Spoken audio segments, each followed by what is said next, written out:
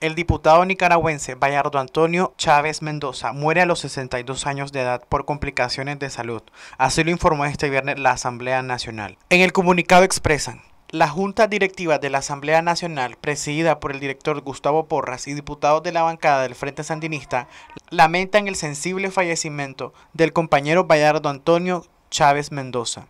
El compañero Chávez Mendoza, humilde y muy querido por el pueblo de Chinandega, a quien representó como diputado propietario en los periodos constitucionales de 2012 a 2016 y 2017 a 2021, fue miembro destacado de la Comisión de Asuntos Laborales y Gremiales y de la Comisión de la Paz, Defensa, Gobernación y Derechos Humanos. Esto lo convierte en el sexto diputado de la Asamblea Nacional que muere en el último año. El diputado sandinista, nacido el 12 de septiembre de 1958, murió anoche en el Hospital España del departamento de Chinandega, de donde era originario. Según fuentes de la prensa en Chinandega, relataron que Chávez se enfermó en el mes de marzo, casi al mismo tiempo que el diputado del Partido Liberal Constitucional PLC, Máximo Rodríguez, quien anunció personalmente que tenía COVID-19 el 21 de marzo.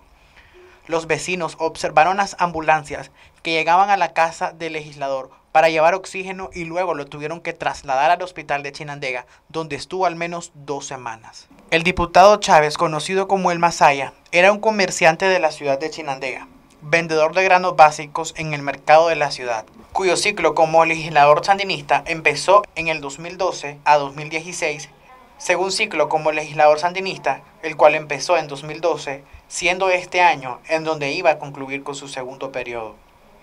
Para Noticias 12, Angel Altamirano.